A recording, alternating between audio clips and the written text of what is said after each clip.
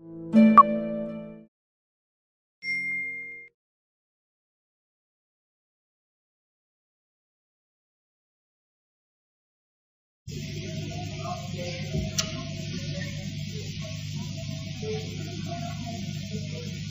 ra Bồ Tát mà nói địa ngục gì không thể mất thành Phật Cái chuyện tâm thương.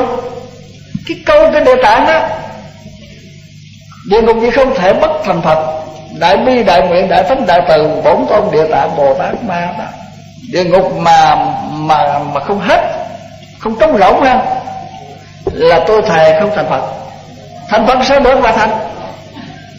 Bởi vì địa ngục là ai? Địa, địa là địa tạng. Mà địa tạng là tâm của con người.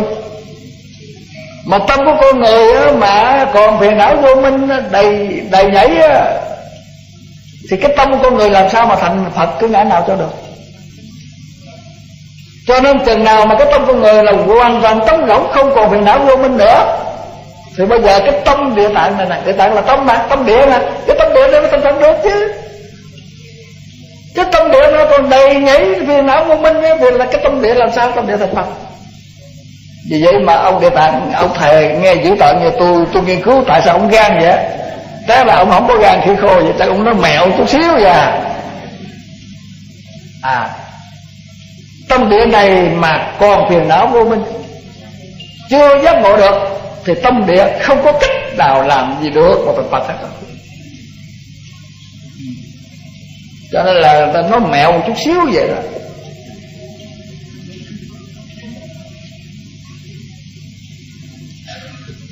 Cũng như kinh di đà, cái pháp môn tịnh độ ta nói mẹo một chút xíu thôi. Người nào mà niệm phật ít nhất, tệ nhất không là cái lúc mà sắp lâm chung mình niệm 10 niệm thôi là ta đã rất giảng sanh về cực lạc. À. Niệm 10 niệm thôi. Phật xưa lời thể tỏ tường 48 nguyện dẫn đường chúng sanh thể rằng ai phát lòng lành nước ta, bảo vật để dành các ngươi thể rằng ai phát lòng gì đó. Hiện nay tôi tín nữ mấy người chí thiền tưởng Phật niệm 10 tiếng ra Ta không rước ở nước ta Thề không là Phật chắc là không sai. Thế thì là niệm Phật là ông rước à? Là bởi vì sao vậy? Là gì tự tánh mọi người là gì? Mọi người là di đà rồi. Mà hồi nào giờ các người các vị không biết các vị là di đà. À, cho nên là các vị không bao giờ gặp phật ở di đà còn bây giờ mà các vị biết niệm phật thì có nghĩa là các vị đã đã biết là các vị tự tánh của các vị là gì đà sẵn rồi.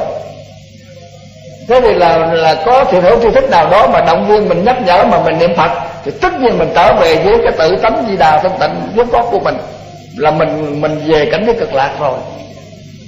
À, vậy đó. Nhưng mà về cực lạc là trong kinh ta nói không có dễ không có đơn giản đâu.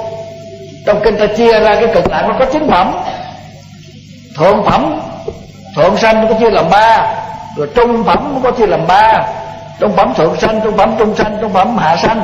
Rồi hạ phẩm chia làm ba. Hạ phẩm thượng sanh, hạ phẩm trung sanh, hạ phẩm hạ sanh. Thế là các vị vẫn vẫn sanh cực lạc mà các vị vẫn còn tu mãi, tu hoài trong kinh nói làm chừng nào mà các vị mãn tam ma tăng kỳ kiếp có nghĩa là các vị sập phiền não vô minh thì các vị mới thành phật trong phần trăm mới là qua khai kiến kiếm phật mới thấy phật. Còn bằng không thì ở trong hoa sen. Ở trong hoa sen thì hiện giờ đây các vị ở trong hoa sen không có gì đó cứ ra kinh pháp hoa là các vị là sen. Mỗi người là một hoa một hoa sen. À, cho nên là các vị ở trong sen này mà tôi hoài tôi chừng nào mà hết trên phiền não là các vị mới qua khai bá kiến kiến vật À thế thì là cần chỉ cần niệm 10 niệm là ta rất ở cõi ta. Chắc chắn nếu ta nói như vậy mà không đúng là ta không là Phật. Mà sự thật Người nào cũng là tự tánh di đà rồi. Chỉ có cái là các ông không chấp nhận Các chị không chấp nhận. Chứ các chị chấp nhận là tôi đã là, là, là cho đăng ký hộ khẩu từ lâu rồi mà. Đã chấp nhận là công nhân Việt Nam bằng lòng ký vô cái rạc là, là tôi chấp nhận công nhân Việt Nam thôi. Đúng không? Có gì đâu. À tu nghiên cứu đó nát ốc quá mấy chục năm á. Chứ tại sao mà nói là niệm mười niệm mà ta mà không rước ở nước ta là ta thề không làm phật? Vậy thì bây giờ ông thành phật rồi. Ông thành phật rồi. Mà sao mình còn ở đây? À vậy là là là là, là bao nhiêu người không niệm nữa thì ông không thành phật sao? Mà sao ông là thành rồi? Thành rồi là tại vì nếu người nào mà thật sự niệm mười niệm thôi, là ông rất hết. Vì sao vậy? Vì tự tánh gì di đà. Vì sao vậy? Vì là phật hiệu di đà, pháp giới toàn thân tùy xứ hiện. Có chỗ nào không có hiện đâu. Trong đầu, trong cổ, trong óc, trong tim của chúng ta, ông hiện trong hết rồi.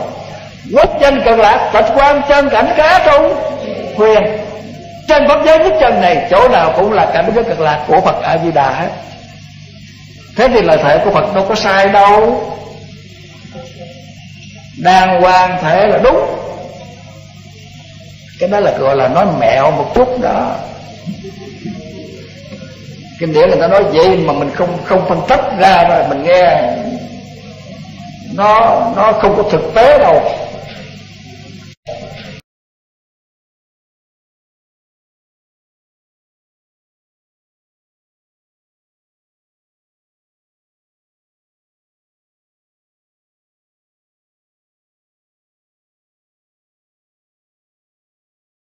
Mm-hmm.